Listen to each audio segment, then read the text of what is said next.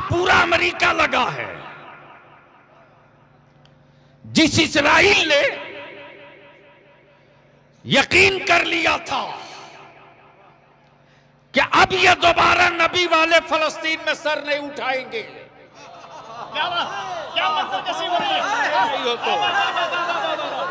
अब फलस्तीन वाले सर नहीं उठाएँगे। इसलिए कि पचहत्तर सालों से कुचला गया है ये। सर नहीं उठाएँगे। जब जब सर उठाया, तब तक आतंकवादी का के मारा। कभी रॉकेट से मारा, कभी लॉन्चर से मारा, कभी गोलियों से मारा, कभी बंदूक से मारा, कभी डंडों से मारा। लेकिन बलियाबी कहता है, बैतुल मुकद्दस की आज़ादी के लिए अपनी औलादों की जान का नजराना देने वाली मेरी कौम की बेटी को तेरे जज्बे को सलाम, तेरी हिम्मत को सलाम, तेरे अज़्म को सलाम, तेरे अहद को सलाम। बता दिया फलस्तीन के मुस्तफ़ा की बेटी फातिमा की कनीजों ने। बता दिया सैयदा फातिमा की कनीजों ने। ए दुनिया की औरतों तुमने बेटा पैदा किया खानदान के लिए। मुस्तफ़ा की उम्मत ने बेटा पैदा किया इस्लाम के लिए, इस्लाम।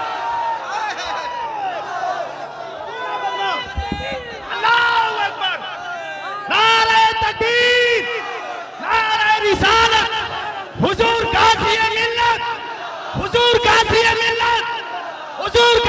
मिल्लत। दुनिया का मुसलमान दुनिया का मुसलमान भारत का मुसलमान नारे तकबीर नारे रिसालत सुनोगे तो बैठ जाओ। तवज्जो चाहूँ? अगर किसी को डर लगता है तो जा सकता है, मेरी तरफ़ से छूट है। जिसका हार्ट कमज़ोर हो, वो निकल ले, मेरी तरफ़ से छूट है। रोज बलियाबी को गीदड़ भबकियाँ मिलती हैं, चुप कब होवोगे? मैंने कहा कि दुनिया की अब तक कोई ताकत नहीं पैदा ली हुई इस ज़मीन पर जो नबी के गुलामों को चुप करा दे। जब सारी दुनिया का कुफर मिलकर बद्र में 313 को न चुप करा काश में काश में काश में पत्थरों की गोद में आज ये गुफ्तगु नहीं करता। दीवानों तकरीर सुन लो तकरीर क्या बोलेगा? ये ये ये बोझ बैठे हैं बोझ। भी नहीं पड़नी है बात। सिर्फ़ जुब्बा और पगड़ी और लंबा कुर्ता से मौलवी थोड़ी कोई होता है यार। बहुत अच्छा। पढ़ना पड़ता। सुनोगे तो बोलना पड़ेगा। अरे बोल डरता नहीं है तो बोल। दिल लगा में मैं क्या कह रहा था? पूरी दुनिया का कुफ्र 313 को न डरा सका। पूरी दुनिया का कुफ्र 313 को न डरा सका। पूरी हुकूमत मिलकर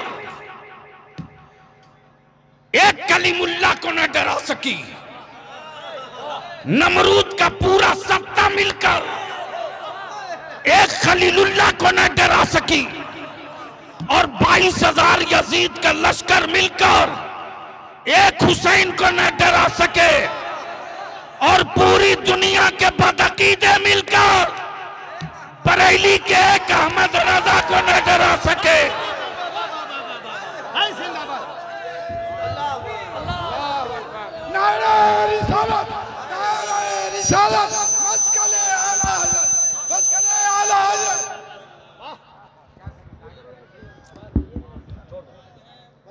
सुनोगे तो बोलना पड़ेगा। सुनोगे तो बोलना पड़ेगा। तवज्जो चाहूँ पढ़े लिखे लोग अगर बैठे हैं तो सुन लीजिए। वाह वाह वाह वाह आज पूरी दुनिया देख रही है जो फलस्तीन पचहत्तर साल से मारा गया।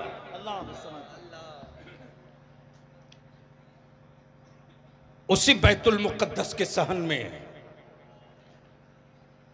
माए अपनी औलादों के साथ इफ्तार का इंतज़ार कर रही हूँ।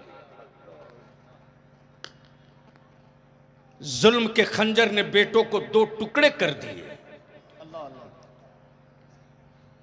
लेकिन उन माओं की हिम्मत नहीं टूटी।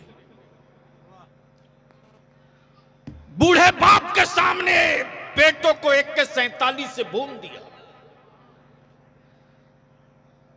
अश्कबार आँखों से बूढ़े बाप ने अपने कमज़ोर कंधे पर बेटे, जवान बेटे की लाश उठाई। हिम्मत नहीं टूटी। पचहत्तर साल मारते रहे और कहते रहे, आतंकवादी हैं। भारत में जो पहली आवाज़ निकली है फलस्तीन की हिमायत में, वो आवाज़ किसी और की नहीं, इसी तरह बलियाबी की है। और मैंने खम ठोक कर कहा है, चुप नहीं रहूँगा।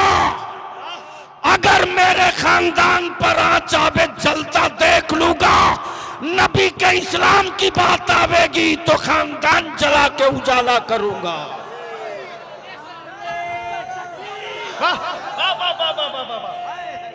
क्या रसूल अल्लाह आए जिंदाबाद जिंदाबाद जिंदाबाद बाबा जिंदाबाद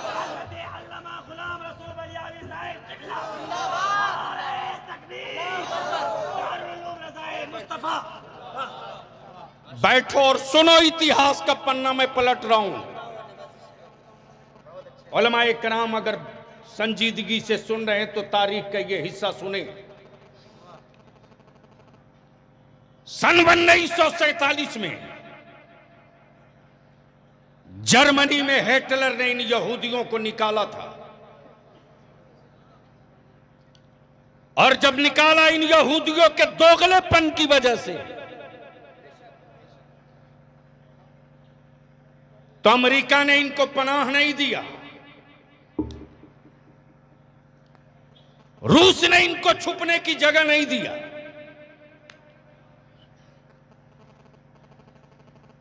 आज जो लोग इसराइल के पक्ष में खड़े हैं, वो भक्त नहीं जगह दिए लेकिन जब कई मुल्कों से फटे लौटे थे तो रहमत आलम की उम्मत ने फलस्तीन में इनको जगह दी। और सिर्फ़ जगह ही नहीं दिया। कहा भूखे हो मैं खाना खिलाऊँगा। फलस्तीन के ईमान वालों ने कहा भूखे हो आओ मैं रोटी दूँगा। तुमको किसी ने पानी नहीं पिलाया। हम उस हुसैन के मानने वाले हैं। कि अपने दुश्मन को भी पानी पिलाते हैं। आओ। जगह दी ठहरने को दिया खाने को दिया। और यही अमेरिका की रखेल जिसको यूएन अकवाम मुत्तहिदा कहते ब्रिटेन ने अमेरिका ने लंदन ने इटली ने मिल करके उन यहूदियों को कब्जा करने वाले यहूदियों को इसराइल मुल्क नाम का एक मान्यता दे दिया।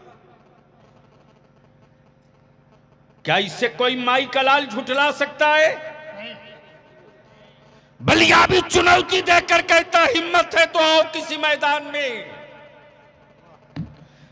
मुसलमान गुनेगार हो सकता है गद्दार नहीं हो सकता।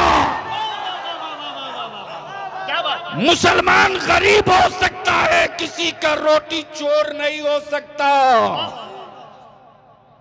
इसलिए कि रोटी चुराने का सबक नबी ने नहीं पढ़ाया है। भूखों को रोटी खिलाने का सबक मुस्तफ़ा ने पढ़ाया।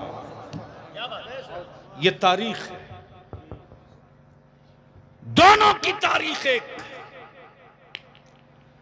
भारत में अंग्रेज़ों के खिलाफ जब राष्ट्रपिता बापू अंग्रेज़ों से भारत की आज़ादी की जंग लड़ रहे थे साथ में नागपुर का कोई बाबा नहीं था। हाफ़ पॉइंट वाला कोई चड्डी छाप नहीं था। बल्कि बल्कि अंग्रेज़ों के खिलाफ जिहाद का फतवा देने वाला नबी के इल्म का वारी सल्लामा फजल हक खैराबादी था। अल्लामा अशफाकुल्ला थे। अल्लामा किफायत अली थे। मौलाना मजहरुल हक सिवान के थे। खान अब्दुल गफ्फार खान थे। उस वक्त विक्टोरिया के गुंडों ने यही कहा था, भारत की आज़ादी की बात करने वाले आतंकवादी हैं। भारत की आज़ादी की बात करने वाले दहशतगर्द हैं। भारत की आज़ादी की बात करने वाले टेररिस्ट हैं। भून दो इनको गोलियों से। भून दो इनको गोलियों से। जलियाना वाला पाक चीख चीख कर कह रहा है, गोलियों के निशान अब भी बचे हैं। अब भी बचे हैं। दिल्ली से लेकर बंगाल तक शेरशाह सूरी रोड में कोई पेड़ ऐसा नहीं था, जिस पेड़ पर किसी मुसलमान की लाश न लटक रही हो। वो इसलिए कि वो अपने भारत की आज़ादी की जंग लड़ रहे थे। उस वक्त विक्टोरिया के गुंडों ने कहा था कि ये टेलरिस्ट और दहशतगर्द हैं। ये किसने कहा था? अंग्रेज़ों ने कहा था। और जिन लोगों ने अंग्रेज़ों की गुलामी की चक्की धोया, टुकड़े पर पले, और हिंदुस्तान के जंग आज़ादी के मुजाहिदों का कत्लेआम कराया, वो हरामखोर वो हराम खोर, आज़ादी की जंग लड़ने वाली औलादों को आज दहशतगर्द कहते अदालतें चुप। जिन्हें वोट देकर तुमने सत्ता में डाला बे, वो भी चुप। बता कौन लीडर तेरी, कौन लीडर, किस पार्टी का लीडर तेरी औलादों की हिमायत में खड़ा हुआ, बता। इसलिए कि तुम बोझ हो। तुम मरी हुई लाश हो, लाश। तुम में डिसीज़न की कोई औकात नहीं है। लेकिन बता दिया नबी वालों ने कि पचहत्तर साल लुटने के बावजूद भी बैतुल मुकद्दस के साय तले एक फैसला ले लिया। तो आज अमेरिका बाप बाप कर रहा है। आज इसराइल दादा दादा कर रहा है। और ये कहने पर मजबूर हो रहा है कि सबसे लड़ा जा सकता है, नबी के गुलामों से कभी जीता नहीं जा सकता। खड़े हो जाओ।